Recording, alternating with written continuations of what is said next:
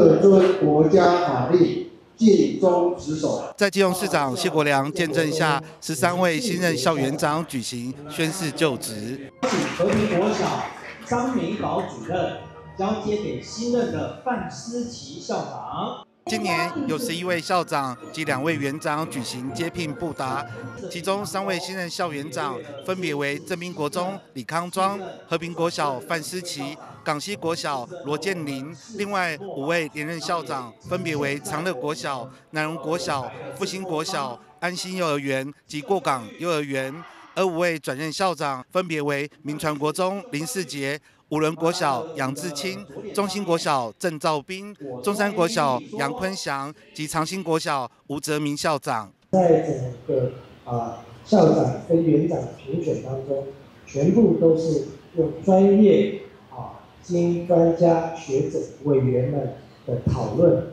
市政府尤其强调啊跟议会的在这份先进报告，市政府啊尤其是我本人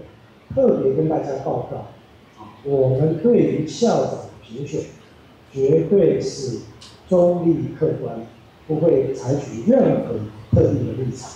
啊，从我就任以来，我就有特别在这方面要阐述我们的理念跟想法。我也因此并没有啊亲自去参加这些校长的评选。那我们认为，我们这样子做的目的，就是希望真正落实到。教育界的朋友，每一位都想着，在基隆市，只要有校园长的评选，我们绝对是中立客观，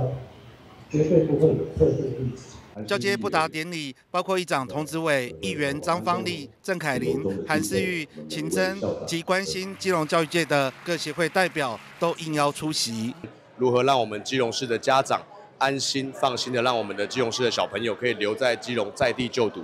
每一个阶段都非常重要，所以我们每一位校长都要把学校经营出特色。然后，呃，除了现在这个少子化以外，我们也有很多问题，就是譬如说我们刚刚说的教育的拉力，还有这个少子化的原因，所以我们每一间学校。都一定要创造出属于自己的特色，让家长放心，让小朋友在基隆平安健康长大以外，还具有未来的竞争力，是校长非常重要的一个灵魂。所以，我们期许每一位校长都可以在学校经营成功，也祝福大家在这个新任的就职顺利。在教育部的部分是没有补助交通车，但是我们今年也在谢国良市长的指示之下，我们也是课后一人承班，而且交通车完全的补助。再来，还有一些国际教育的政策，课桌椅由学生自行来